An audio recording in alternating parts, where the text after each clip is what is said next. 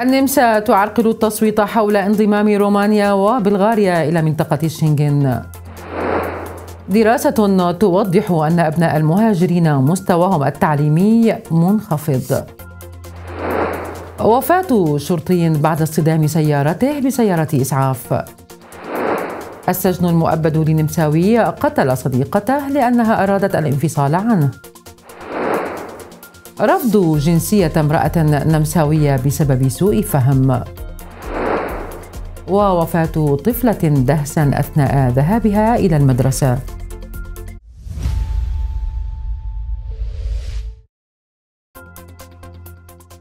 تحية طيبة إليكم النشرة بالتفصيل على النمسا ميديا. وفي خبرنا الأول أصر وزير الداخلية النمساوي جيرهارد كارنر على عدم انضمام رومانيا وبلغاريا لمنطقة شنغن حيث يصر على تحسين منطقة الشنغن الحالية قبل التوسع.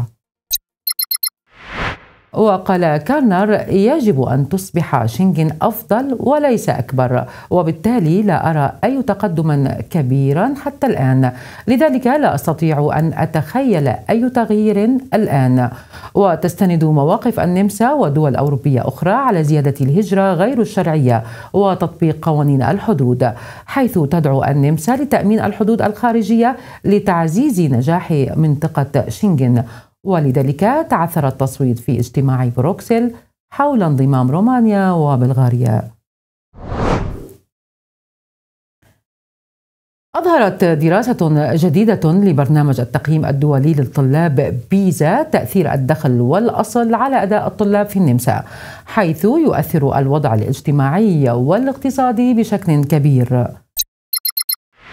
وبينت الدراسة أن الفجوة تبقى بين الطلاب النمساويين وأقرانهم الأجانب مشكلة مستمرة حيث يحقق الطلاب من الطبقات الاجتماعية الأعلى نتائج أفضل. واختبر حوالي 6200 طالبا وطالبة يبلغون من العمر ما بين 15 إلى 16 عاما في مواضيع القراءة والرياضيات والعلوم الطبيعية. وذلك في أكثر من 300 مدرسة مختلفة في النمسا. توفي ضابط شرطة نمساوي في فيينا بعد أن اصطدمت سيارة الخدمة بسيارة إسعاف في الرابع والعشرين من نوفمبر الماضي.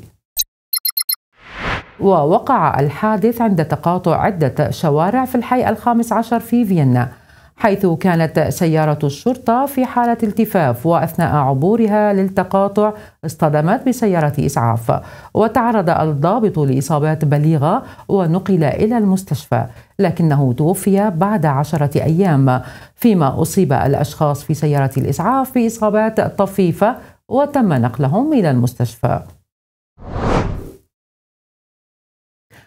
حكمت محكمة في اليوبن في شتايمارك بالسجن عشرين عاما على شاب أدين بقتل صديقته التي كانت زوجته قبل أن ينفصلا والتسبب بحادث سيارة بنية الانتحار. واعترف المتهم بجريمته أمام المحكمة وكان الطرفان يعرفان بعضهما منذ الطفولة في كيرنتن.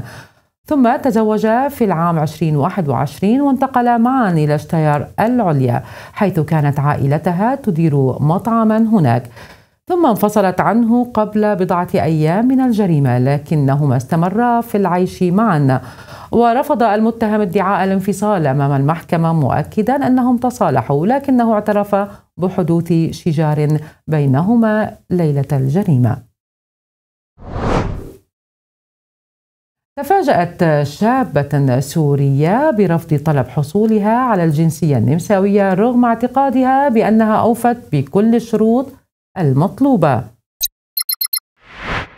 وقدمت الشابة من ألمانيا بعد أن تزوجت لتعيش في تيرول منذ العام 2017 ورغم اجتيازها اللغة اختبار اللغة B zwei والقبول في جامعة إنسبروك بقسم الهندسة تفاجأت بالقرار وبررت السلطات بأن هناك سوء فهم حول شروط الإقامة الخاصة بها وذلك رغم حصولها على جواز اللجوء الرمادي ولكن لم يتم التعرف على وضعها كلاجئة وبالتالي يجب أن تحصل على إقامة Rot-Weiß-Rot.